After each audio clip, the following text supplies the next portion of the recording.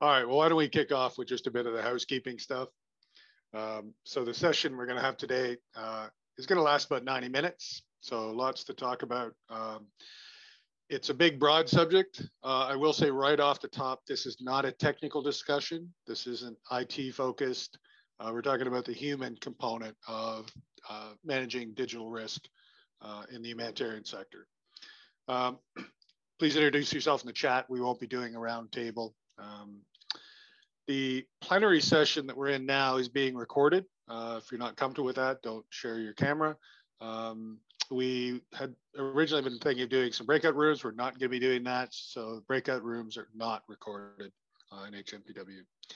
Um, it is an interactive event. We do want you to engage, ask questions. You can raise your hand. Uh, if there's enough people on here, sometimes it's difficult to see the hand. So you can also type your uh, questions in the chat and we will respond to them. Um, please stay muted uh, unless we're asking you to speak. If you do speak and you're comfortable with doing so, please put on your camera so we know who we're talking to. And if you do run into any technical challenges as we go through the day, just uh, we have our GS staff, Flora and Megan. They're there to support you. So just uh, message them in the chat and they will help you out. So uh, let's move on. So what we're going to be talking about today, um, our agenda for the day is uh, we're going to start with a bit of a thought exercise. It's just generally intended to get you thinking about some of the challenges. Um, because the digital world is so prevalent around us, uh, it tends to be a bit like the boiling frog. And we tend to lose sight of actually how invasive and pervasive in our lives it is. So we're gonna have a little thought exercise, just get you thinking in the right direction. If you wanna ask any questions about any of the, the uh, things you'll see in the thought exercise, just type them in the chat and we'll follow them up. Uh, then we're gonna talk about the digital threat and the various components of it. It's a broad subject. We had to kind of select down on some key themes, so we'll introduce those as we go along. There are some case studies, some actual real world examples that have all happened relatively recently that have affected the sector and we'll kind of try to get our mutual sort of thoughts on how we can address those challenges. And then, as always, we want to come up with some recommendations how to move forward. You know, what's the uh, the way to address this in our sector? So, how to manage those risks and the ways forward. So, that's the day. Again, as we go along, just if you have any questions, let me know. So we're going to go to the thought exercise. In front of you is a QR code. There's, I believe, about 10 or 11 questions. You're going to be asked to select one or the other as the most correct answer. Um, the link to the Mentimeter uh, thought exercise is also in the chat. So if you don't have the QR code thing down or comfortable with it, just uh, click on the link and we'll give you a couple of minutes to go through the, the exercise and we'll go back and review. Okay, so let's go back and see what our results were. All right, we seem to think that online activity, uh, more of us think that that's more of a challenge. Next one. Which is more valuable in the modern world? Good, good. I think we're all agreeing in the modern world that diamonds and jewels are nice, but data is critical. Next. Reputation risk more difficult online than in the field. Obviously, acceptance is harder to manage. Good. Next. Uh, right. Uh, which poses a bigger risk, information or an asset? So I agree. Next. This is an interesting one. Um, and we can talk about this as we go through, but uh, we feel that our staff are more vulnerable in the field than they are online. We'll see you have the same opinion when we get to the end. Uh, how's your activity more likely to be monitored, online or in person? 50 years ago, even 25 years ago, we might have said in person, but now I think we all realize we're being monitored online. Next. How does your organization collect, store, and manipulate data? Well, I'm glad to see the two people are still uh, taking notes and files in cursive on a piece of paper. That's good to see uh, but not terribly practical in the modern world, and that brings challenges. Next. Uh, who wants your data more, hackers or businesses and government? A bit closer result there. We'll see if we all agree again at the end. And where exactly is all your data? This is an interesting question. It did come up quite a bit in the session yesterday. But do we really understand where all those electronic bits of data are actually being held and who's in control of them and who has access to them and how secure they are? Next. And this is kind of interesting, uh, and we'll talk about this more. Um, where are your programs more effective in a place where you have reliable digital access or a place where there is none? Um, and I would have to agree there. Okay. So that's our thought exercise. Uh, if you have any questions about any of those or thoughts or suggestions, please share them in the chat.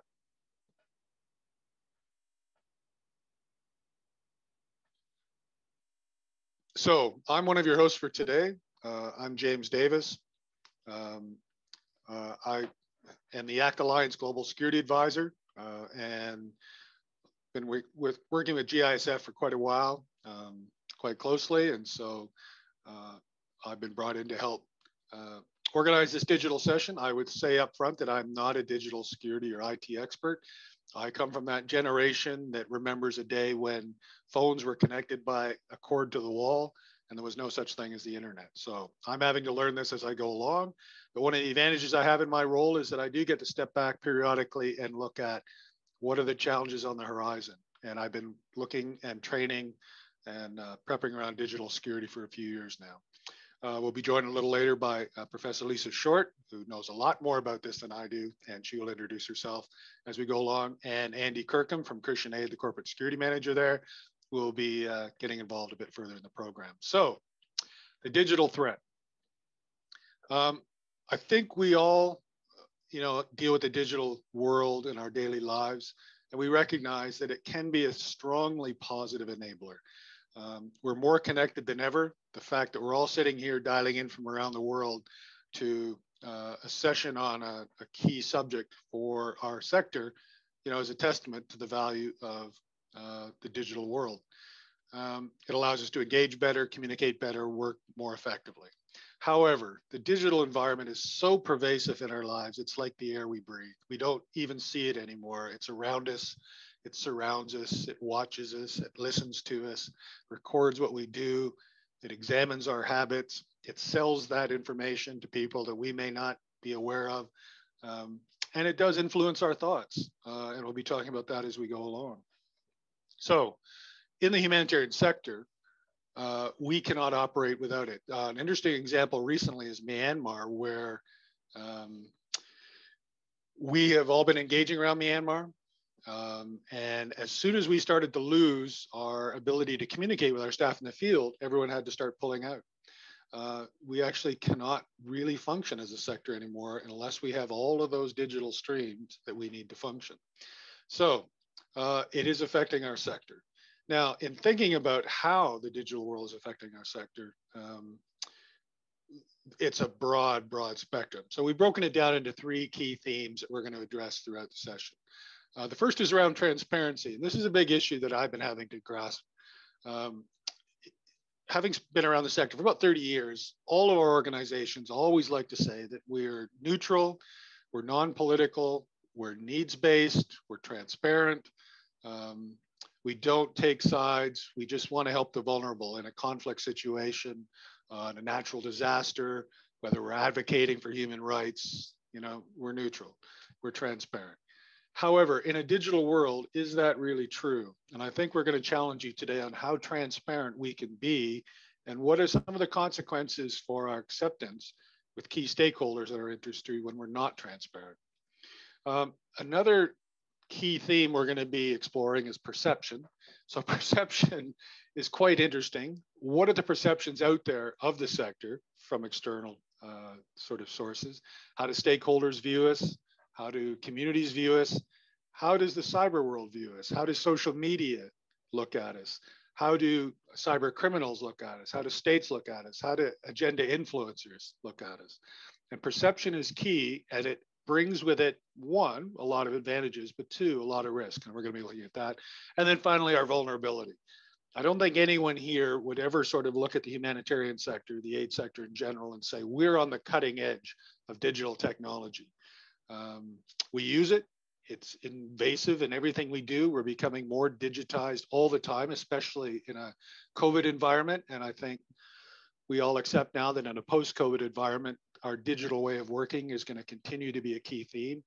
Um, but there are vulnerabilities. Are we really addressing all the risks that come with that shift to a digital way of working? So these are the themes we've chosen to work on. There are others, but I think you can sort of argue that most of them would fall into one of these. So in looking a bit closer at it, um, around transparencies, NGOs hold massive amounts of data. And as we showed in the thought exercise, and it seems that most of you agree, in the modern world, data is king. Data is everything. People will pay billions of dollars for your data. Major uh, social media companies and different platforms that offer uh, digital uh, links to each other as human beings, they do billion dollar deals on a regular basis because they need our data. And NGOs hold a lot of data. We hold data about beneficiaries, we hold data about communities, we hold data about trends, about opinions, about links to various indigenous, ethnic, religious groups, and people want that data. And it also goes to the point of GDPR. So in the EU, we have GDPR, which is uh, a set of rules governing how we manage data. But around the world, there are different sets of rules. Are we compliant in every sector? Are there ways in places that don't hold a GDPR to influence NGOs to give up data? Um, and then And depending on the audience in the room, I haven't gone through the list specifically.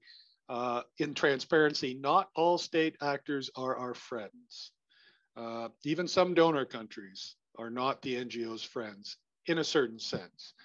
Let's just say that there are NGOs now, major international NGOs we'd all know, who stopped taking funding from certain donors who are well known to all of us because those donors are making it a condition of funding to hand over all their beneficiary data. So the identification of everyone who is taking part in any program.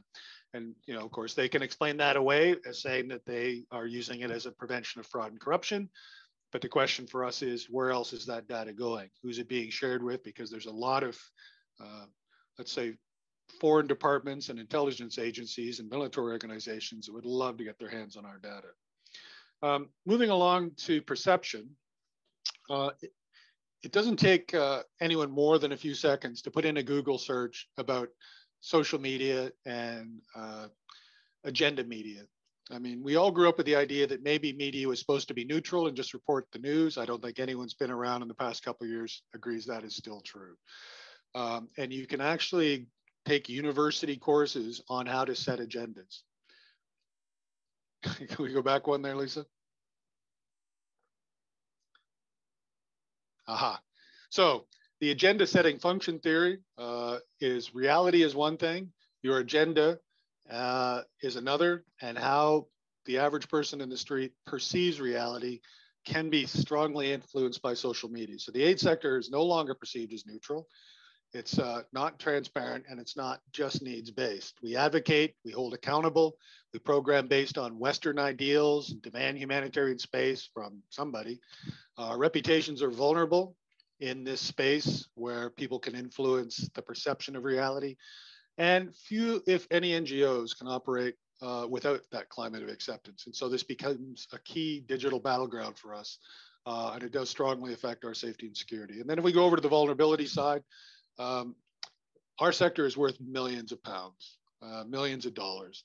Um, and it doesn't take long to do a quick internet search to see what kind of money we're talking about. And though none of us get into the aid business to become wealthy, uh, if you're a cyber criminal or you're someone else sitting out there and you're seeing the numbers tossed around because aid organizations love announcing when they get a big chunk of funding for some program they feel passionate about, people say they want their share. They want a cut. They want to uh, kidnap someone and hold them for ransom. They want to hack your computer and steal your data and sell it back to you. Uh, they want their cut. There's cash based programming that can be abused. And there's not a, an agency out there that hasn't faced some of these kind of fraud and corruption challenges because of that vulnerability. Okay, so these are the themes we're going to be looking at. And I'm going to hand over to Lisa now, who's going to take you into uh, a better explanation of some of these. Lisa. Thanks, everyone. And I do apologise that every now and then you do get a, an airline announcement. It's not actually the hackers. It's actually that I'm actually sitting in an airport, and, uh, and you know it's part of our digital world. So quite interestingly, I've done my first uh, physical event today in 16 months. So it all, all sounds uh, quite foreign. But yeah, I, I, am Lisa, Lisa Short, Professor Lisa Short, and um, one of the areas that I do work in is I'm the global chair and the Chief Research Officer for the Global Foundation for Cyber Studies and Research. So this area is quite a passionate area of mine. And our recognition uh, of our digital footprint um, certainly has two sides to it. Certainly the, the human side, but it very much so has um, a positive side. And that's another side that I'd like to, to uh, ensure that we talk about today. But let's just um, uh, talk about the human element side. Um, let's just set the scene for where we sit. Um, in the last year, the speed with which change has been occurring uh, has just, it, we call it a vertiginous rise. It's a vertical learning curve. And if you think your heads are spinning, they probably are. Because organizations are actually um, making decisions 40 times faster than they were before the beginning of the pandemic. Now, that's quite an extraordinary degree of change. In the first half of last year, there was seven years worth of change occurred in the first six months. And the NGO sector and the humanitarian aid sector certainly wasn't devoid of that. Um, you know, you went from being able to be physically in offices, physically around people, to the fact that you're working remotely and completely digitally. And often you are actually separated um, from the actual clients that you serve and the customers that you serve. But I also want you to think about what goes into that space. And that big ubiquitous space, by the way, um, you know, we talk about data in the cloud and data in the virtual space, but behind that virtual space is that it's, it, data actually isn't in the cloud. It's actually on somebody else's computer. So there's, it, it may go that method, you know, that mechanism. It might go from yours to a digital space and then drops down into a physical server, but it's physically being, it's sitting somewhere. How much is it? This is quite amazing. If you can quantify the volume of data in the entire written and written and spoken word of the human race since its existence, every two days, that same volume of data is being churned out and replicated and put into the system. It's growing by that much every two days the entire volume of the written word and spoken word um, of, of humanity. So if you think about that in terms of volume of information that's going into the to the system, and that's why it's also so valuable uh, in terms of monitoring our behaviours and our what we buy and we sell and where we are and what we, we're located and all of those sorts of things. Every single thing that we put out there goes into that data space. Even believe it or not, when you type a text and you delete it, those deleted pixels and you deleting that word goes into the data space and that's of course how we get predictive texting and, and those sorts of pieces of information. But something else is really important and very important in this NGO space.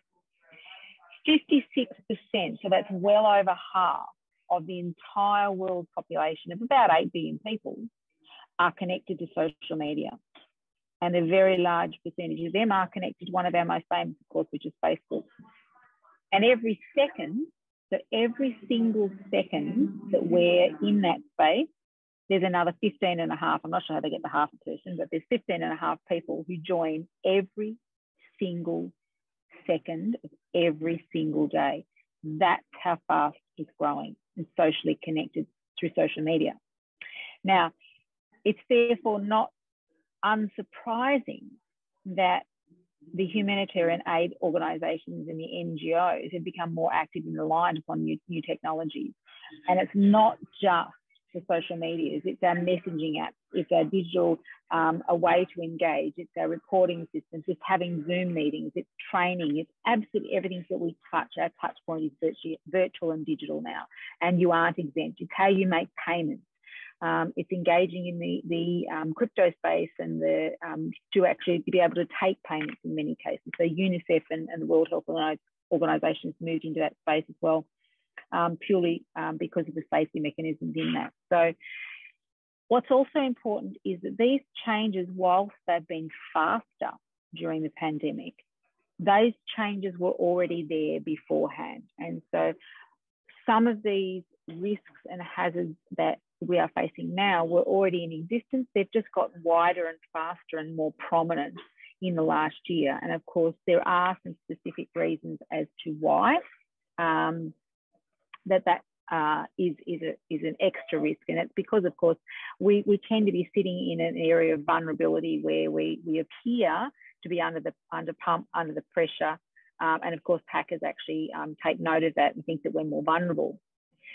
Um, so, your organisations have actually evolved from being um, what we might call bystanders in many ways to fully fledged stakeholders in the cyberspace. Whereas before you might have physically been um, just engaging with clients, uh, you know, rather than actually being, you know, on your computers, on your iPhones, doing the things that you need to do, you were physically out there doing the work that you needed to do.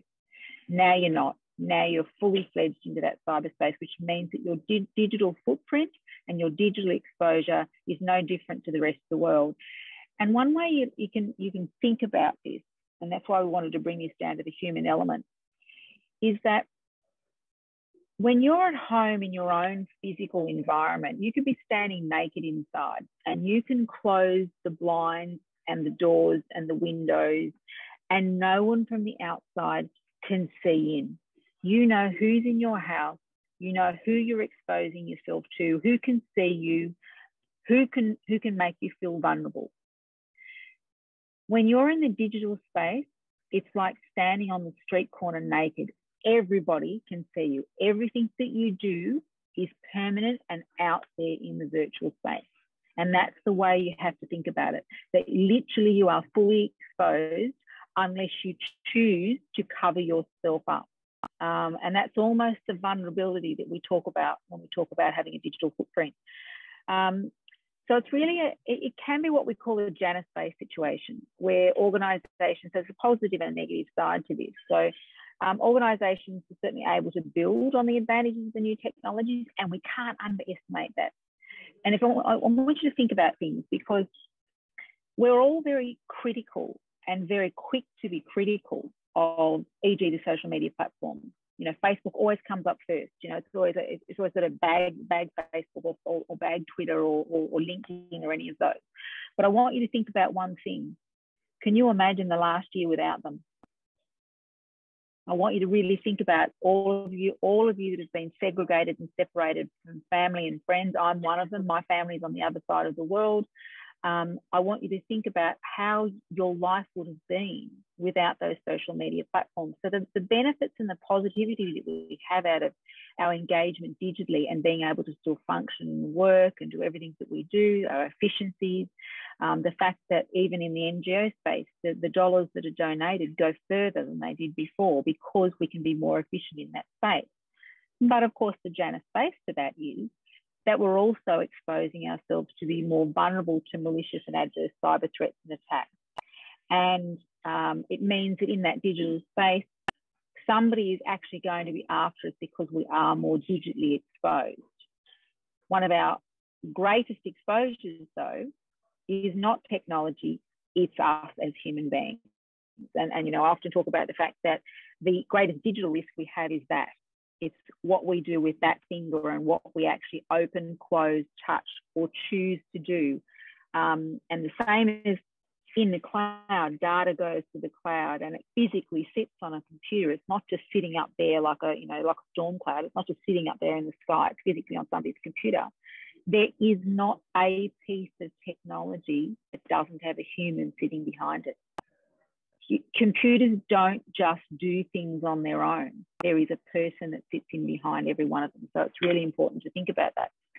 But because agencies work in highly geopolitical and tense areas of the world, um, you do have some quite unique um, challenges that are faced. Um, and uh, one of those areas, of course, pertains to the, to the area of trust. And I specifically put this, this slide in because the humanitarian and aid organisations, over their years of development, um, your work has been dependent, hang on, your work is dependent on the fact that people trust you. You will gather data and information that no other organization will obtain. In fact, you can gather data, um, even recognition of names, dates of birth, you know, private information, personally identifiable data, and there needs to be a segregation between what we call personally identifiable, in other words, that it connects back to me as an individual, and the data that we know, which is pixels of information that might allow us to do shopping and so forth. In this case, NGOs and humanitarian aid organisations may in fact be having the highest degree of politically sensitive information about refugees, about political asylum seekers, about the location of vulnerable individuals, and they trust you. So we have a greater responsibility for that information that we accept um, in a trusted environment because if we break that level of trust, that means we actually break down some of the very ethoses and the, the foundational reasons that NGOs and humanitarian aid organisations exist. So it's critically important to think about that. Um, I think I've actually missed, uh, let me go back. Is very sensitive today. So the current state of affairs, this might blow you away. So attackers are hoping to benefit from money that was intended for their pandemic. So there is a greater volume of money that's going through the system at the moment. In fact, trillions of dollars of aid is going through the system. And so the, the hackers and the malicious cyber actors, the nation state actors, they are fully cognizant and aware of that. They're also very cognizant that um, they're trying to capitalize on the disruption and the weakness that weaknesses that they see and the vulnerabilities. They're also trying to, to capitalize on the fact that people have gone from being physically involved in, in work to digital systems, and they've probably done it without all the security mechanisms in place. What's important to know is that there is not one single NGO anywhere in the world that has not already had a significant breach in their cyber system. So if you think you haven't been breached, you have. And that's quite profound. So you're better off to assume that you have been rather than I wonder if I have been. You have been. The same as, by the way, and you're not actually alone in this. Every educational institution in the world has been also um, hacked. So World Health Organization is experiencing double the volume of hackers that they had in, in, in 2019. So it's 50% increase um, to what they've had before. Um, our current systems, though, have a tendency to restrict sharing of some data but not sufficiently protect information that could identify individuals and communities. In other words, one of the case studies that we'll talk about uh, is the Uyghur people. Um, and so there is, is systems and processes to ensure that, e.g., GDPR, we don't we don't share personally identifiable data, but there's ways that they can get around it. So there's there's not there's ways that we can lure people um, to sharing that information without them knowing. The other thing that's important is the fact that you go back to that, you know, every two days, the volume of data that's being churned out and entered into the system, the volume of information outstrips our capacity to analyze the risk. So organizations, the big aid organizations, do actually do threat risk assessments and they actually have systems and processes in place to see when it's unusual activity um, that's being monitored um, in our systems. But the volume of information is so high and so great that our, our capacity to cope with that is being outstripped. Um, we're not keeping pace with it. Um, and I think the other thing that's here is that the increasing penetration of mobile and digital technologies into our vulnerable areas. So if if we we're literally going into digitally non-literate areas you know in your emerging economies where we're taking digital technology into areas where some of these people actually have never used the internet or used devices certainly never seen smartphones and those sorts of things. We're handing them and engaging with them in a digital world without the level of digital literacy that we have. And so that places us at huge risk we're also going into environments where the socioeconomic levels are lower than what we might have in a westernized world. And that means where we might buy, uh, you know, uh, legitimate copies of, of software and security, some of these people are actually using pirated copies by pirated copy by pirated copy. And of course, they lose each time the capacity to, um, you know, have those secure mechanisms by doing that. When we engage with them, we also expose our risk there. Um, and there's another concept in this as well, and these are some of the things that, that, are, that are important to think about, is that we have a also have a mentality of a free mount mentality. And I, I did say this in the session that we had yesterday. I want you to think about this. If an application is free, and we've already said that data is more valuable than diamonds and jewels, in fact, it is the most valuable um, substance that we have on, on, the, on the planet um, that we live on is data. If that's so valuable and an application is free, you are the product. So I need you always to remember that it's it's a it's a it's a mentality that we need to think about that a paid application is paid because it revenue generates by being a paid application. If it is free, and I don't care which one it is, data is the product. You are the generator of the data. You are the product. And therefore, there will be data being generated in the background. And so that means, again, goes to this, this digit here, the volume of applications that we are starting to use because of the rapidity of change that we've had to go through to get to the digital status that we are now means that we don't even have a chance to read, well, most of us don't read the fine print of applications. Most of us don't go into the settings of our phones and, and, and make sure that we follow up on those um, uh, settings within our phones and devices to ensure that we are operating in the most secure way. So there is a huge opportunity um, for a massive amount of social engineering. In fact, I read another article today where there were 21 million Facebook profiles um, registered.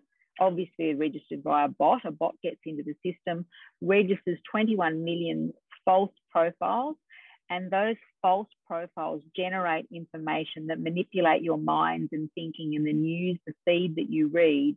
So you think somebody is behaving in a certain way when in actually fact and actual fact they're not. And of course they can influence political uh, voting systems.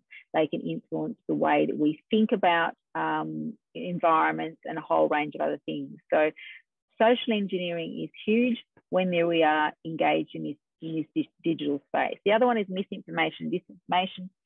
In fact during the pandemic the only thing that spread faster than the virus was in fact misinformation and disinformation. And it is so difficult to tell what's true and what's not um, in, the, in, the, in the world that we play in. So broadly in this area, again, we've had to sort of bring this down to some themes again as well, is to think about the digital space and its impact. Three key areas, people, people, people, followed by processes and technology. So, in other words, the human element is still the most critical. 90% of most malicious cyber attacks and um, attacks that we get digitally are caused by people error, not by processes and not by technology. Um, they're caused by people who deliberately make errors, inadvertently make errors, are uneducated, are unaware, etc. All the change is so fast that we just haven't been able to keep up with it.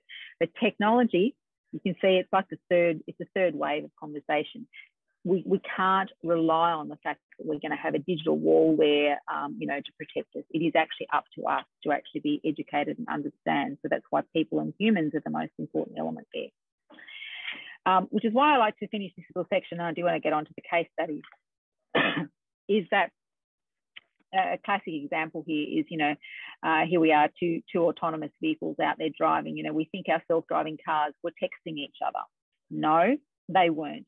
There was two humans sitting in those vehicles that were texting each other that weren't observing. The cars don't just control themselves. There is actually still a human element sitting there. So again, it's we really want to concentrate this back to the human element behind every piece of technology. There is a human a, a computer and a, and a program doesn't develop itself.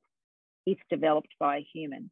Hacking and malicious ware starts with a human. Yes, it may be automated, but it starts with a human. Um, and that's really, really critically important in this discussion. So the things that we do and the things that we influence in our digital footprint comes back to how much we um, actively go out to keep ourselves educated um, and ensure that we understand the exposure that we're, we're placing people into.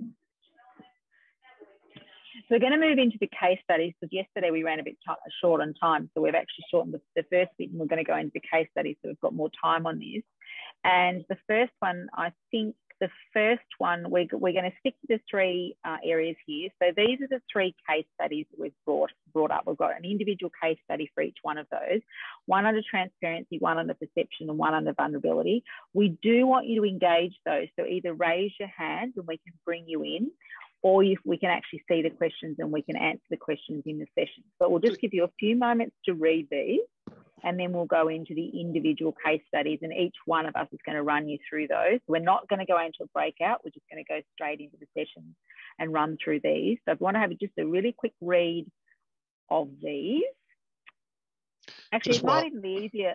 I was going to say it might even be easier if we actually go into we don't yeah, we need to we can go just before we do we? just before we jump straight into them. Um, I, I, was actually waiting to see when you were talking about um, misinformation and social engineering. Uh, a lot of the NGOs in my organization itself, one of the organizations I work with, uh, is having a challenge around vaccinations. And we have a whole mm. group of staff in one country who are refusing to be vaccinated now because they have come to believe that vaccines are not safe and that herbal remedies produced locally mm. are probably safer for them. And that produces a whole mm. massive duty of care challenge and operational mm-hmm. challenge and risk management challenge for uh, the organizations. Um, and there's all sorts of stuff around vaccination. So it's a, a, really good example. I was wondering if anyone was going to bring it up in the uh, the chat. Also, I would say uh, it's kind of interesting. I was going through the people who are attending, we have a couple of people who are working around AI. So when you were talking in that last little cartoon about always a person behind the computer program. I wondered if our AI people were going to toss anything in. Actually, you raised two really good points, actually. So the vaccination um, misinformation, disinformation is actually quite profound. Uh, that's out there, and that's actually been quite deliberate. So you need to to think about, and um, there's whole sessions and whole programs that we run on social engineering, for example. So it's to advantage, uh, and you may think, why would people do that? Because it's to people's advantage to keep certain groups of people vulnerable. Um, and they can actually literally put out that false information and misinformation and tell people, and, and especially when, it, when a group of people are already feeling vulnerable, they've already been through a year of fear, uncertainty, and dread.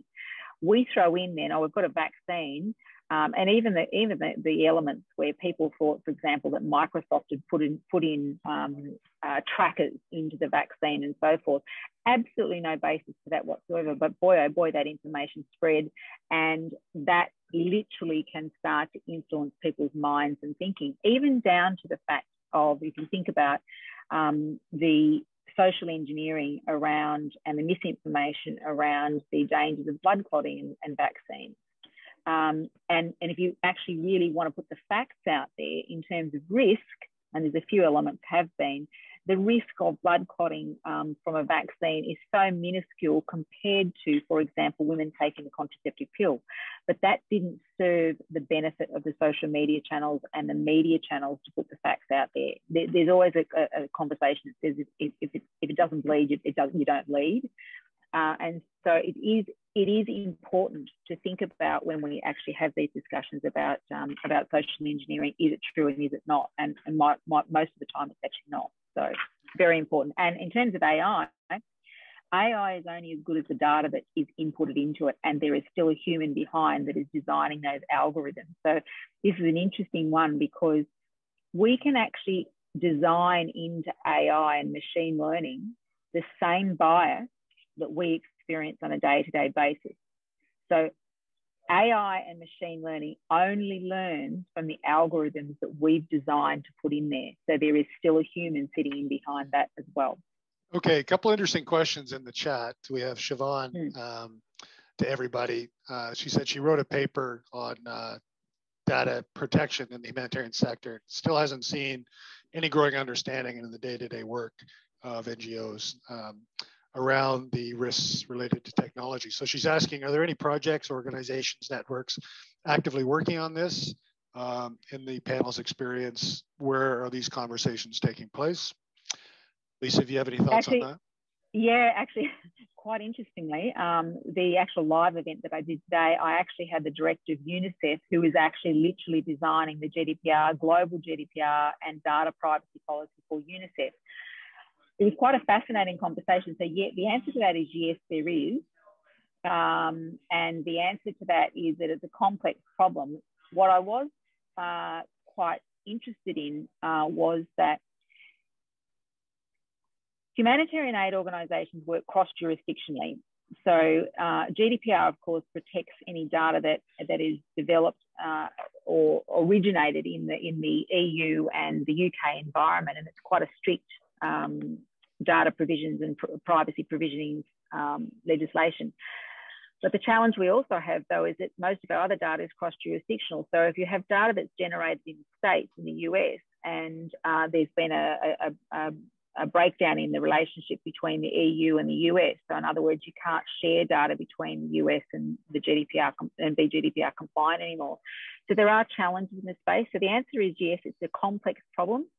Um, the other challenge is that in the uh, humanitarian aid organisations and uh, the NGO sector, you're required, as you quite rightly said, James, to share information that other organisations aren't. So, in other words, your scrutiny and your auditing, because it's donated money and it's and it's um, beneficiary money, is often scrutinised more than any other organisation, which which requires disclosures um, of data. The lack of education of staff about what data actually is, what is personally identifiable data um, when we're capturing it, etc., etc. So it is a big it is a big problem. Um, but it was interesting. Yes, so, so, the answer to that is yes. There are some projects um, happening. Obviously, UNICEF is working on trying to establish what does it look like to have a global privacy uh, policy, and what what does it look like to push that out, um, and then technically, how do we actually manage that? Because as you know now, the amount of data that we've got being collected on our private devices uh, and so forth is a huge challenge. So we could have a whole session on that, but the answer to that is yes. Um, certainly happy, happy if somebody wants to connect with me and I can put them in touch with, with what's going on in that space. Okay, and one more quick uh, question in the chat before we move into the case studies. Um, so Dave Simpson from RedR is suggesting that uh, uh, not to detract from Lisa's point, but emerging economies have uh, proven their ability to adapt to technology more quickly and completely than the West. And he's using the example of mobile banking technology. Uh, incredible take up in a very short space of time um, because they don't have to invest in that infrastructure, you know, the normal banking systems. Um, and mm. so emerging economies aren't mm. necessarily behind the curve. Now, I'll, I'll let mm. you answer that effectively mm. in a minute, but I'd just like to, to say to Dave, it's also uh, one of the points here is digital education and awareness. So, one of the places where social media can influence opinions around misinformation and changing perceptions of reality is in people who don't have that ability to judge what is real and what is not. So, in a very technical sense, yes, emerging economies are very quick to adapt to a digital environment because there's a lot lower infrastructure upfront cost, but are the individual users being well represented by the companies who are bringing in these digital technologies who all you know, come with their own agendas? And I pass over to mm. Lisa to respond. Yeah, it's actually a good point. You'll see one of the logos on my screen there is Africa Agritech. So I do a lot of work. I probably probably seem I seem to be in Africa probably 40% of my day. Um, you are correct in the sense that we have a we have a terminology called leapfrogging, so, um, in the emerging nations, one of the reasons they have such a, a, high uptake of mobile technologies, and in fact, they also have a very high uptake of digital currencies, blockchain um, solutions. And th this comes back to this question we had about trust before. So, in the westernized world, we've got infrastructures and we've got governments and we've got systems and processes. Now, we mightn't all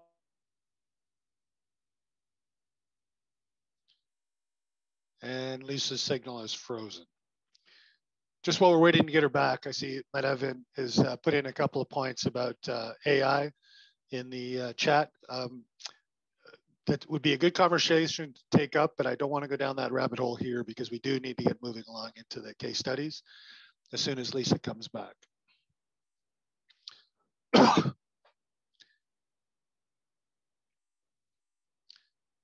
All right.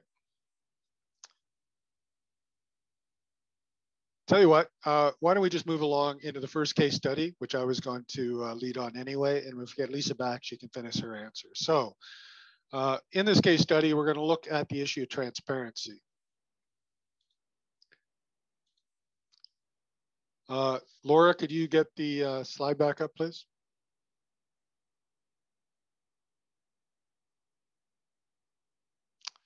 There we go. So uh, this time we're looking at transparency. Um, the case study location uh, is a Central Asian country, doesn't really matter which one. Um, it's a large international NGO with a European headquarters, operations in over 15 countries globally. The incident occurred around 2017. So in this particular situation, the NGO was operating in this country. It was facing a lot of challenges in its programming there. It was getting finding difficulty in sourcing funding for its programming, and it made the very difficult decision, as in happens in any NGO, to close down uh, operations in that country. And so, um, as it made that decision, it recognized it had a, a challenge other international organizations who closed there had international staff members and managers arrested uh, by the government. And basically, resolutions and settlements were then um, negotiated before the international staff would be released. And so the organization made the safety and security decision to not be transparent about its closure. So it went to some rather extreme lengths. And if you go down into uh, the measures it took. Uh, first off, in any meeting that the senior management team had about closing down operations in this country, no mobile phones, no laptops were allowed into um, the program, were allowed into the meeting room. Um, they were extremely concerned that this foreign government was going to be listening to their conversations. And for anyone who's not sure whether you can be listened to your, through your phone, we can talk about that separately. Um, in addition to that, there was not a single email, voice call, or any other digital medium where the closure was discussed. The NGO decided that anything that was done would be done in person, uh, talking one person to another in a safe context, uh, or handwritten down, but those handwritten copies would never travel inside the country. So what they tended to do was they were inviting international staff out to regional conferences which was basically a cover to have conversations on the side about the closure process. Um, and national staff who were working for the organization were not told, as far as they were aware, they were continuing as per normal. So when they finally finished up, uh, they, about a week prior to the actual closure date that had been decided, all the international staff ended up leaving the country for various conferences or other uh, work trips. They took all of their personal effects with them, or as much as they could carry or could ship out prior. Uh, and once they were all out of the country, the NGO announced the closure to national staff. Um, and it was only a couple of days away. Now, the, the organization did its best for national staff. There were settlements. They weren't uh, just abandoned there in the country. There was arrangements made with uh, partner organizations to continue the programming work that they'd been doing assets that the NGO had in the country were then uh, donated to its partner organizations. Um, but this would be an example of not being transparent. So the question I have for all of you, and I hope to see some responses in the chat, are did the steps this NGO went to, were they too much? Were they adequate? Uh, and what are the risks if this becomes common in the NGO sector to uh, be so untransparent that major stakeholders, countries, staff, donors, um, we're not being transparent with them. What are those risks? So any questions in the chat, put your hand up and let's see what you think. Lisa, are you back now? We can get you to follow up. We can get you to follow up with the, the, the, finish that uh, in a bit. Yeah. the wonders of technology.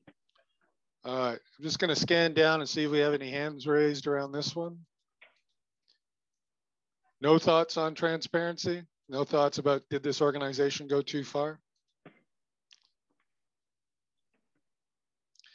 Uh, we do have a question in the chat from Eric uh, at World Vision. I like the emphasis on the human side of digital tech. Uh, digital liter literacy and raising awareness on the opportunities and risk of digital, especially among the vulnerable populations that we serve, is so critical. Uh, any comments on this Can particular? I, Go ahead. Lisa. Yeah, I'm just. I was going to say um, yes. I think on on the the uh, if I can just raise a point on the the transparency. Um, it's a fundamental, it's a fundamental foundational thought that we have that we have trouble shifting our mindset to, I think, in, in terms of uh, the transparency one, that we feel that to disclose every, we have to disclose everything to be transparent.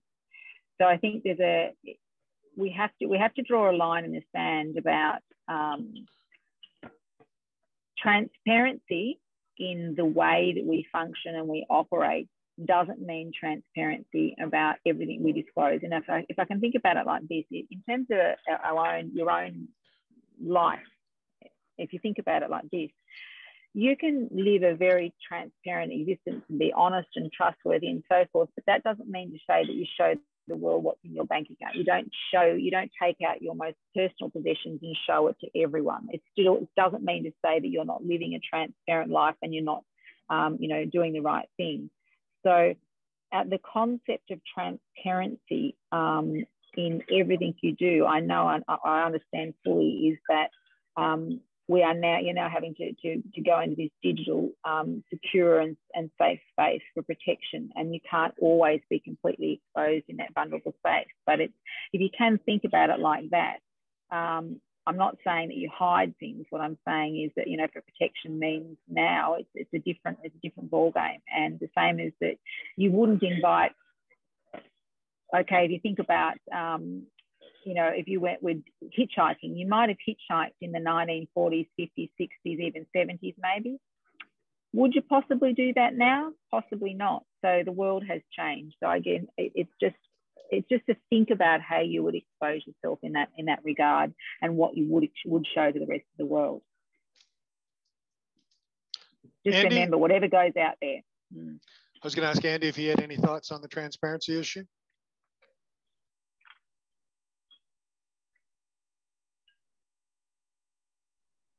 Nothing that uh, that Lisa hasn't already covered. uh, I see Matt right. uh, Matt Heaven in the uh, the chat was saying that uh, it was a bit too much and that uh, NGOs do need to be accessible. Okay, well, why don't we move on to the next case study then? And I hand over to Andy. Thanks, James. So this uh, this case study study is um, is based on um, a ransomware uh, ran, uh, ransom attack which which occurred, and it's a very uh, very common situation around a um, headquarters which is hosting um, several NGOs within their building. Um, I know of quite a few NGOs who, who are doing this. Um, so a large NGO will host smaller smaller NGOs. So the, the scenario, the situation is that um, a, senior director um, working uh, for a large organization who are hosting multiple smaller NGOs share the IT infrastructure within their, their building. Each organization has their own um, data brick, so they're, uh, they're, within their main server, so they're, they're, they're able to keep it uh, to a level of uh, separacy, uh, separate. Um, but uh, on this particular occasion, one of the senior directors um, inadvertently downloaded uh, some form of malware or Trojan onto onto the laptop and subsequently thereafter, um, she received a um, ransom demand over her phone. Um, she was locked out of her um, laptop, she locked out of the servers. Um, all her data was uh, was was was frozen. so the organisation went into a, a level of crisis. There were obviously all the all the relevant uh, cybersecurity measures in place, the firewalls, the anti-spam.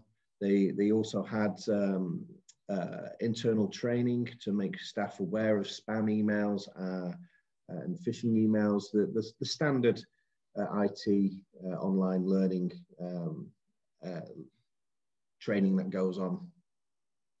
Um, the IT system would normally block any uh, malicious emails on a regular basis, but it was not immediately apparent how the virus was delivered onto uh, the director's uh, laptop. Other server users were not informed of the breach or advised to take extra precautions whilst, um, whilst the, the, the organization was managing this. Um, the resolution thereafter, it took a few days, but uh, the resolution was that the ransom was paid of about $160,000 uh, through a negotiation and uh, by international uh, transfer. Um, the hackers did release the computer back to the director's control, uh, and it was suspected the organization was targeted on basis of international profile. So the, the, the case study is a real one. It's happened, uh, and it's uh, uh, from what I gather, it's happened to quite a few uh, organisations over the past uh, couple of years. Um, what is the perception now from a from a security professional? From my my the, the transferable skills here from a from a physical security, personal security element when we're dealing with K and R kidnap and ransoms when we're dealing with walking out uh, in the in the communities that we work in, and when we're working walking in uh, dark roads and uh, walk, uh, in areas where we're by ourselves, we look after our um, personal security and situation awareness. And there is, yeah, there, there is a perceived wealth of, uh, of NGOs when you when working in in the field. I'm just interested to hear uh, in the chat, or if anyone wants to unmute on what what would what does this what what what could this occur? What, what what's the likely scenario now to continue uh, happening um, uh, now that a ransom's been paid? Um, and you know what are the perceptions that are, that are going to be uh, be out there with the, with the, the criminal networks um, who are doing these ransom ransomware? Okay. I might just pop in. There's a was yeah, going to say there's, there's, a good there's, there's, a good question actually in the um, in the chat there that's saying uh, would you recommend the NGO document decisions along the way for future audits and yes and how you know how would they document? I think in terms of this um, uh, in terms of, of ransom ransomware, which is one of the most common um, things, and there's a there's a fair bit of misinformation around this as well. So very large majority of ransomware attacks um, and the way they way they get into systems is through email. Um, people opening email um, that is dodgy. So if it looks dodgy, sounds dodgy, probably is dodgy. Um, and and that means um, if, if, you, if you want to be anything like my parents, I've got 85 and 86 year old parents. Doesn't matter how many times I tell them. Um, a, a, strange email comes in and it's asking for information that's asking you to go to another site and verify something. And I say to my parents, don't open it. And they go, I just opened to see what it was. No, delete it. And if it is a legitimate thing that you're supposed to have done, somebody will ring you and let you know. And nine times out of 10, they don't. So if it is dodgy, looks dodgy, smells dodgy, probably is dodgy. So that's how the, the, the majority of them get in. But I think the other thing that's really important is that there is always a fine line between uh, with ransomware in saying, well, you know, if I pay it, and I get the data back, it's it's going to cost me less than it would be if I if I lose my data. So if I breach data or, or the data is made public and the fines I might get and you know and whatever it's going to cost me. The challenge we have is ransomware is only taken off because people pay the ransom. And so there is a big conversation going on around the world. Is at what point, the same as, you know, do you pay ransom if, if the person is physically, um, uh, you know, captured and, and, uh, kidnapped, for example. So the catch is that it, it's perpetuated a cycle because one of the easiest ways to get money, people live in, in a state of fear that they are going to actually do what they say they're going to do. The other thing that there's a lot of misinformation about, and uh, it is a sector that I pay in, is that the um, the advent of these ransomwares is is being used or that it's a crypto fraud, that in other words, cryptocurrency is being used for um, money laundering and these ransomware is actually nothing that's not, not the case. In fact, we know that 0.03% of all crypto transactions are fraudulent and they're not associated here. It may be the means that they use for payment, but it's actually traceable. So, um, you know, if people have a duffel bag of money, and that's actually not traceable, whereas a cryptocurrency is actually traceable. Um, so that's actually not the reason. That's again misinformation um, that's out there. So, uh, in terms of uh, you know, negotiating and who pays and so forth, uh, you know, let's back it up a few steps and have processes in place to know what to do when these occur. Um, and of course, the, the, conversation is that if they if they got $160,000 out of you easily this time, the next time it's going to be more. If they think, well, that was easy, got 160,000 out of that lot, I'll go for next time I'll go in for a million. What do you do then? How high do you go and how far do you go and how far do you agree? So the insurance council is actually going to drive a lot of this because a lot of uh, a lot of these ransomwares initially were covered under insurance and they won't be moving forward.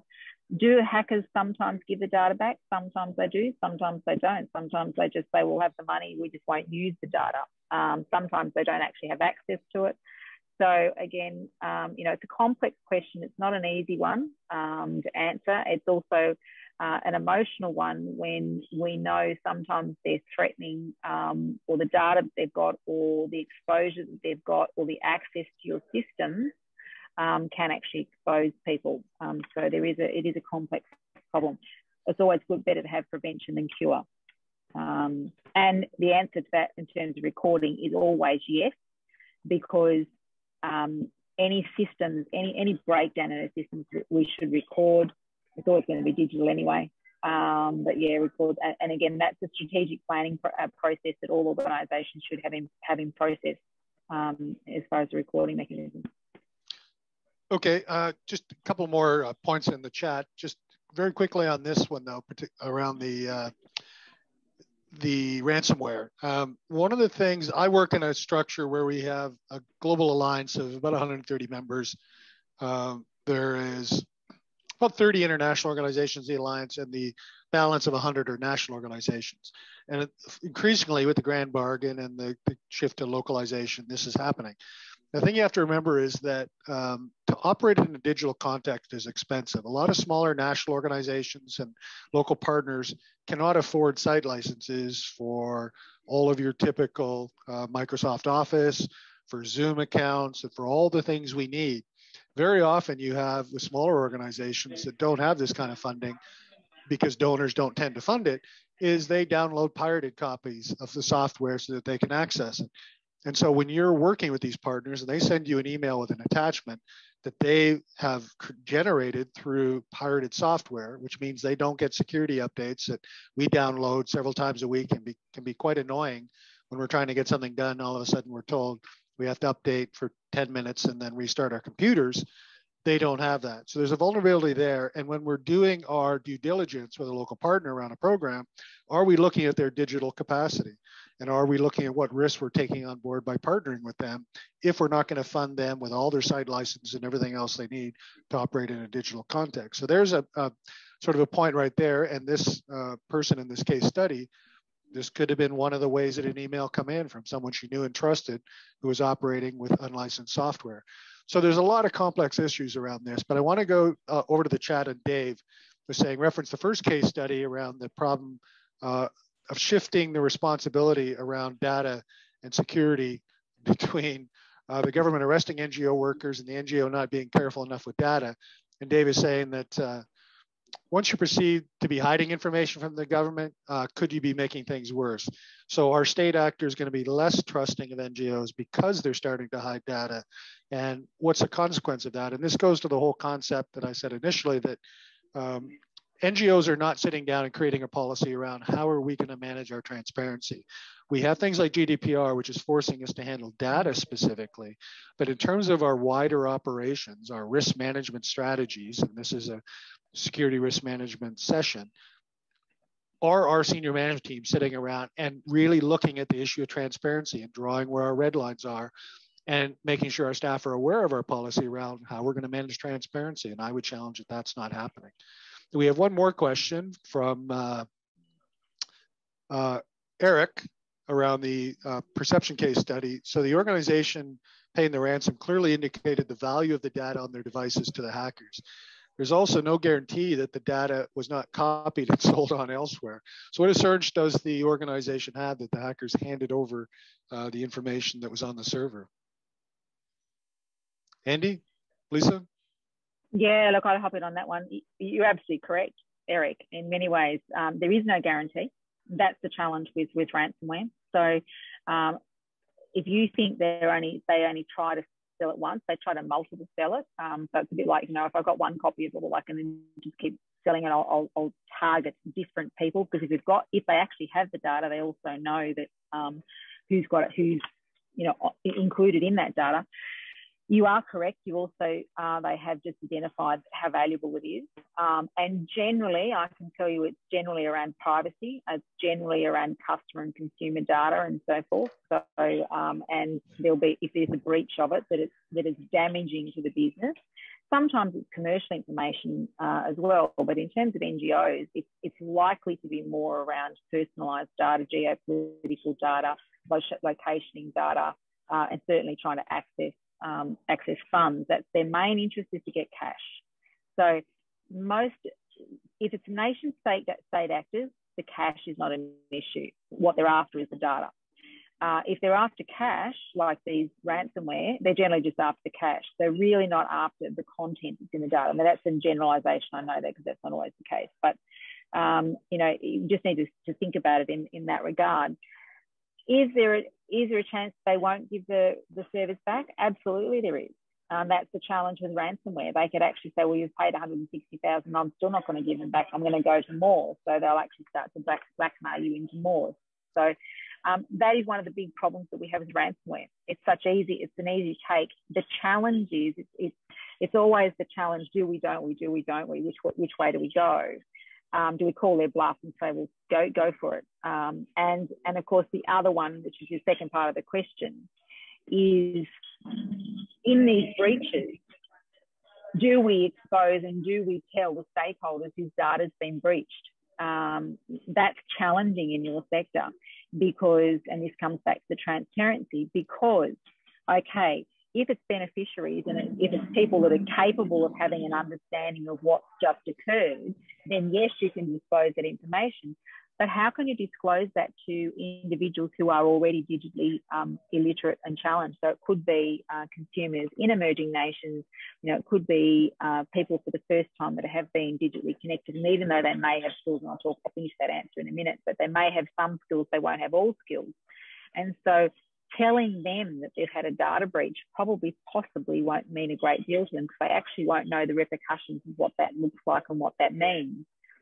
So um, the answer is yes, they are required to. There is a there is an obligation to do that, but whether there's an understanding is not. So again, these are very unique challenges that we do face in the humanitarian aid and, and the NGO sector.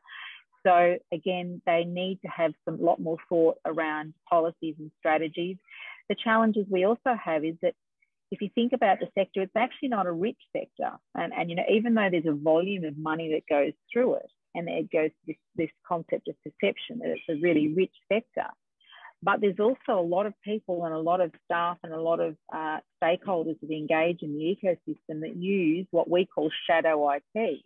So if you can get a free application to do it, they'll choose a free application. They don't use paid, they, they'll use the, the, be, the best and the cheapest that they can to save costs, naturally, because that's what occurs in the sector. Um, so, you know, each of those has its challenges. Um, often you don't have corporate devices. So I've just come from an event where they're looking at enterprise technology. The NGO sector doesn't think how they can actually prevent it happening by going enterprise technologies. Can I save a lot of money rather than trying to manage, you know, digital, uh, old digital technologies like, you know, having our own uh, phones and our own laptops and devices. So, you know, we often take our personal devices into these spaces, which means that you're having personal conversations and business conversations in the same, on the same device. So there's a, it's a, it's a complex uh, problem, and, and we obviously can't solve it in, in this 90 minutes, but it's to raise your awareness to, to go back to your organisations that you need more work. You need to have further follow up sessions to, to whiteboard some of the challenges that you're having in this space, what would happen. I'm going to uh, jump in, in there, sector. Lisa. In the interest of time, we mm-hmm. got to get moving along. I'm going to throw any last words yeah. on this case study, Andy?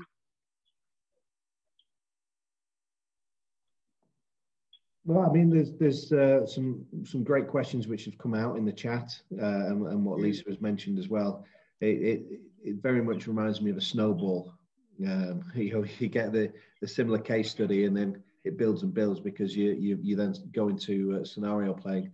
And and I think the underlining factor is yes, you know, policies and strategies need to be firmly in place. With kidnap and ransom globally, um, main uh, main donors uh, and governments have strict guidelines and policies around this, and organisations are, are, you know uh, are accountable to kidnap and ransom and, and the process around that. Uh, and it's, it's it's very widely published and and uh, uh, yeah, and there are there are ways of managing it. Um, with uh, with ransomware online, it is a very different world at the moment, and NGOs no, yeah, we talk about NGOs, but I think the world as a whole need to need to really sort of not rely on all the internal training that they have for, uh, for IT and IT use, but have a, a, systematic approach to, to when these things happen. Um, but also now we're moving into, uh, I work for Christian Aid and we've always worked through partners and our partners don't always have, um, well, they don't have the mechanisms and systems in place for a, you know for a ransomware type of attack or any cyber form of attack. So we, mm. as a major donor to a to a, a partner, we have a, re, a, a, responsibility to support those partners as well. So um, yeah, it's a, it's a much broader and wider um, uh, discussion, and also yeah for, for policy. So yeah. Okay, Dagobert put a good comment in the uh, the chat, but we'll come back to that when we do it. Recommendations moving along. I, I want to get into Lisa's case study. So Lisa, over to you. Yeah, this this one's an interesting one. So this is one of the most recent ones, uh, and this is 2021. So this is only uh, in March. So it's only just over a month ago, and this did in, involve um, Facebook. And again, this is not a, a this is a positive that's come out of Facebook as well. So Facebook US and Canada um, and the organisations that were impacted were um, Uyghur aid agencies, journalists, and activists uh, around the world in US, Australia, Canada, Syria, Turkey, Kazakhstan. What actually happened was Facebook, through their threat reporting mechanisms and their algorithms, can actually detect when there's unusual activity um, and false profiles and, and access um, from various uh, locations into their systems. And they revealed in March that it had blocked Chinese hackers um, from using their social media platform to track uh, Uyghur aid agencies and journalists and activists living abroad. So, what they were actually looking for were people external to China that were communicating with the Uyghur people and those who were activists and, and support agencies uh, for the Uyghur people that were living overseas. So, in other words, it could have been any of your aid agencies and any of your NGOs anywhere in the world. In this case, it was in these particular countries. They tracked it. They know they knew where the um, the the attack, malicious attack, was coming from, and so they shut it down. And then they they reported back um, to organisations. But how they did it was interesting, um, and this is why I brought this one in. Is that it's um, because the systems in, in Facebook don't actually allow, or very rarely, it's very difficult to get it in malware to get into staff computers and personal devices. So most people, as we know, it says 56% of the world is connected on social media, and Facebook is, is one of the, the, the predominant ones that we use. So this cyber espionage campaign predominantly mass manifested itself in sending people from Facebook to an external site. So in other words, they they knew that they were they were they um, were um, penetrated into the Facebook site, but they couldn't get the malware in. They then redirected you outside Facebook for a watering hole attack so that you would go to your own device and an independent website. And on that independent website, which is actually a false profile or a false website or a false application, you would then download the malware onto your device or onto your personal device, and they therefore then had access to your system. So some of the things that they did, which was really interesting and, and to be to be mindful of, and this is how far that they can go, um, bearing in mind um, the way that uh, China and Russia can in, can in fact um, be quite insidious in their their behaviours. So they imp- impersonated websites, news websites. Uh, Uyghur, they uh, created false profiles. They infected popular websites and then led people to those popular websites um, from Facebook. Um, they also created fake accounts. They posed as actually um, activists and, and Uyghurs and encouraged people that they were friendly and, and, you know engaged with them over a period of time and then led them to uh, external malicious links and applications. And all this was about was to try and get the malware so that they could actually start to track um, what people are up to and find the location of those people that were supporting the Uyghurs and also those people within China who were actually, um, you know, collaborating with them. Um, fake app stores, they go to a, a, fair length of degree to do this, um, to create fake app stores themselves, um, you know, and Trojanize those. Um, so that means, you know, they, they come into what we normally call the safe application, come in and spread. So there's a variety of mechanisms.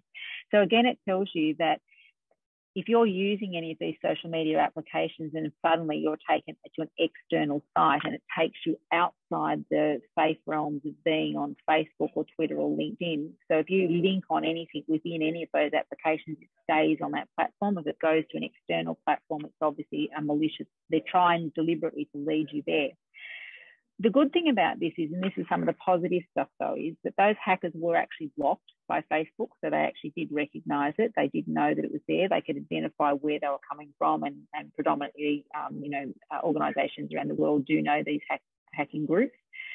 So Facebook did share their findings um, and threats with peers so they could actually uh, enable um, some processes and how they could actually ensure that if anybody had been impacted that they were notified. And the other thing that's important is that that um, these big uh, malicious cyber espionage episodes also do bring in a geopolitical response. So bear in mind a lot of these activities do fit into, for example, China's, um, you know, Beijing operational approach, um, which is to track dissident groups. But importantly, the question that I've asked here is, what are the boundaries? Like, how far do our boundaries as NGOs go? What are the risks that these have just imposed? Because what they're looking for is who external to China is helping people within China. How will we influence what's happening in China externally? And of course, that can, in, in fact, um, impose high levels of risk to our own families and our own communities. You know, there can be journalists that are, and we know there are journalists who are kidnapped, there are journalists that are that have false charges laid against them.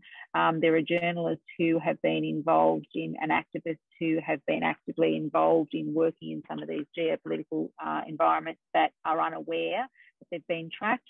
They land in the country, and the next thing they're in jail because they've been charged with an offence. And that means that as, a, as NGOs and organisations that are playing in this space, we have to be particularly careful. So these are really important uh, malicious cyber episodes that occur. And of course, it's always, you know, I always put the, the, the answer there, you know, prevention is, is better than cure. But, you know, it's to demonstrate to you here that without a doubt, the fingers in the pie and the, the web that they weave can extend outside the countries that you're working in and can extend back to the families and our own communities. And for example, when you're sharing images and things on social media and you may be you may have staff that are working in some of these geopolitical areas the cyber espionage and the hackers can actually get in and see your images you might be putting posting up images saying hi look at this great scene of where i am and they can actually identify they can actually there's, there's um, software that can identify the locations of those images, the photos. They can identify, for example, you know, my background, you know, Caerphilly Castle and, you know, those sorts of things. So it is really important, but I did want to also to identify that the, the people that we often are the, criti- the, the most critical of also do um, a lot of work in this space in terms of, of blocking some of these, um, these episodes that are there. So but I think this, this case really does identify how strong education needs to be in the uses of our social medias to make sure that we have um, security measures and, and, and, and how these things can manifest themselves and what it looks like when you're being led away from another site. And that would lead you into identifying that it's predominantly likely to be a malicious attack and trying to get into um, to load um, Trojanware or malware onto your phones and devices and then obviously get back in and track.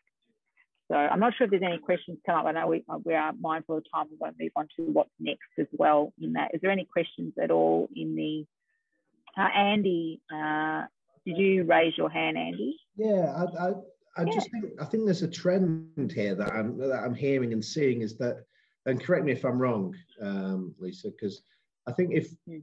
from what I see is if we become reliant on specific text apps uh, and social media sites, you know, that following the norm, there is a, mm. from, from, what I see, there's a perceived risk there, an increased perceived risk, mm. and we are. Mm. Uh, you know, as humans, we follow the, the path of least resistance. We want to follow the easy route. And uh, for example, a few few months ago, the WhatsApp um, media out, outblast that what which happened. Um, mm. everyone was had a knee jerk reaction to then go and find another provider, or you know, Signal or, or, or others, and others didn't want to move across because WhatsApp was their life. You know, that's what they they felt comfortable with. I'm just interested to hear your thoughts as humans, as as we're moving more into this digital space. Do we need to be more agile rather than reliant on specific areas and, and be able to switch very quickly when uh, when when things like this happen?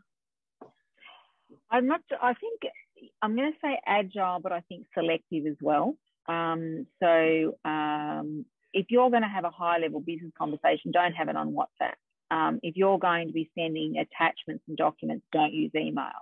If you're going to be, um, you know, sharing um, commercial information or in a high risk environment, then you need to be very cautious about how you use social media channels. So um, it's not about don't use them, it's about being wise to use them. So, you know, I use a paid application called Threema, for example, which is one of the most secure digital um, applications that we can use. I try to avoid WhatsApp because I actually know um, how much the data is being tracked. I also know that even though it is encrypted end to end, there are some security features on some of our phones that allow us to back up those conversations. And the minute our conversations are backed up to cloud, for example, on an iPhone, you automatically lose your encryption um, protection, and that that data is able to be hacked. Then, so you've just placed what is an encrypted conversation into a non-encrypted environment purely because you don't know the setting on your phone uh, is there. So, agile, yes. More educated about settings, more so and selective on how you use those applications because they're all good and they're all bad. There was a big shift, obviously, from WhatsApp over to Signal, but bear in mind in the States, um, there is reg- regulations that also requires encrypted conversations to have a back end. So there is a, back end so that in the States, um, the military and, and the government actually do have an access to data. So I think you are right um, the hackers and espionage um, and the cyber, you know, nation state actors do um, know our patterns of behaviour and they target those. So you're absolutely correct, but we just need to be smart in terms of our making sure we use security settings and, and ensuring that we understand that. So for those that don't know, there's new settings on your new iPhone that asks you, do you want to be tracked? Do you want your data and so forth to be tracked? Don't just go no, no, no, no, no to everything, or don't go yes, yes, yes, yes. Think about it um, before you do. So, you know, think before you connect, think before you, you say yes, look at it and understand it. I think that's important. And there is one important, um, there is a big um, push in terms of social media. Think before you connect. So if somebody is trying to connect you and you all of a sudden on LinkedIn start getting thousands of people from China and you don't really know China very well, or you get a whole lot of people Russian. I got somebody the other day that was that was Russian was educated um, in, uh, I can't remember where, and was living in Beijing, and he had about 10 connections on LinkedIn. Mm. I think there was a problem. So again, it's, it's, it's being aware of who you're going to connect with. Mindful of the time, uh, I know we've only got a, a, couple more minutes and we do just need to get through um, this last little piece. So over to you, um, James, if you want to pick up on this one. You're still on mute, James. I'm going to give all three of us sort of a minute to uh, just kind of sum up. Uh, if you do have any last minute questions, please fire them in. Uh, we're not going to have a chance to go to Dagobert's questions. We just don't have time. But just a couple of the main issues here are where in the humanitarian sector does this sit? So most of the time we say, you know, if there's a digital question, oh, talk to the IT department. Now, IT departments and NGOs, basically, if your computer is having a problem connecting to Outlook or you've forgotten your password, they can sort you out. Is an IT staff member and the average NGO the one to answer questions around digital security risk management? My response would be no. Are your typical security managers the right person to answer questions around digital security risk management? It's challenging for a lot of us, especially those that are a little bit older. And remember, too, that a lot of the senior management teams and NGOs are probably coming from my generation, which still remembers when you know phones were connected to the wall by a cord. Um, so, are they the right ones? So one of the first and major issues we need to resolve in the humanitarian sector is how do we address this issue? Where does it sit? And how do we inform and make good decisions about our digital future, digital security, reputation risk, transparency, perception, and vulnerability. I pass it over to Andy, and then Lisa can finish up for us. Thanks, James. Um, yeah, I mean, coming from a security background, I, am a great believer that um, we have uh, we our roles, not just within the NGO sector, but our roles as a whole, um, are very broad and diverse. Uh, we're not. It's not just about putting walls up and razor wire up and, and doing security training. It's, it's so more more to it than that and holistic. And um, the the shift between security and security risk management is the way um, uh, our roles are going. Uh, and and you know we we've been uh, delivering training on security uh, digital security for, for a very long time now. And now organizations are picking it up as a, as a standalone element and it, it, we, it can't be in isolation. It has to be uh, integrated into, into so much more. Uh, and I, I, I, believe it, it sits in both areas, but as a security risk manager, we have, we have the, uh, the, the, the ability to push it harder uh, and be less diplomatic and, and, and actually hold um, people to uh, organisations to account um, when when we see uh, breaches and so forth. And yeah, I, I believe that's where it, it sits with us and others, uh, and not not just in a, a standalone area in ICT, um, some behind some uh, some desk somewhere. We all have a responsibility to ensure that information and training and and and uh, processes and, and, and policies are, are aligned with everything we do. So yeah. I'll, I'll pause there. Last word to Lisa. Yeah, and, and, what I would say is I'm going to finish on a positive note. What I'm going to finish off is I want you all to remember um, we, we, we, you know, we've talked about the risks and, and they certainly do exist and it's the awareness. But the positive of this is that you can shift the conversation from being fear, uncertainty, and dread to an opportunity as well. So whenever you talk about risk, there's an opportunity risk and a threat risk.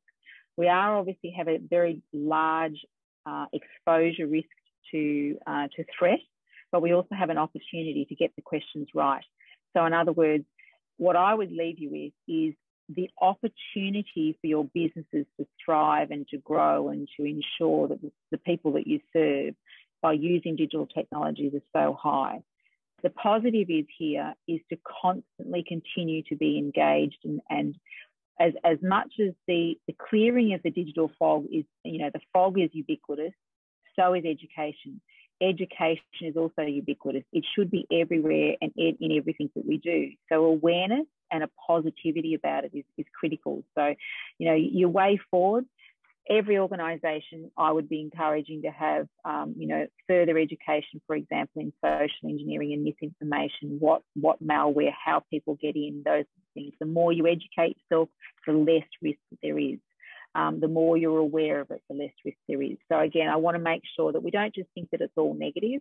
It is a very large risk, yes, I'm not denying that, but I think there is a positive here that because we're aware of it, we also have the opportunity to be educated about it, and uh, and I think that's an important important place to to um, finish up on. You just muted, Lisa.